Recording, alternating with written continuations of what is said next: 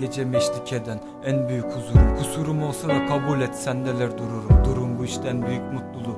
Sende buldum kaybetmek olursa işte o zaman hayat son bulur. Sana sarılamayınca cehenneminde yanmak Sarılınca her şeyi unutup cennetinde yaşamak. Kısa ve öz her şey yeniden sende başlamak En büyük huzur gülüşün ile uykuya dalmak büyük hayal.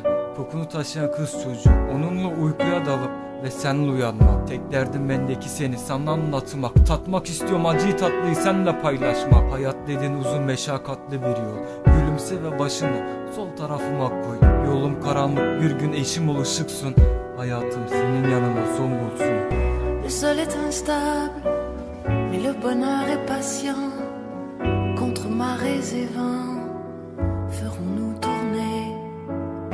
Le sol est instable, mais le bonheur est patient.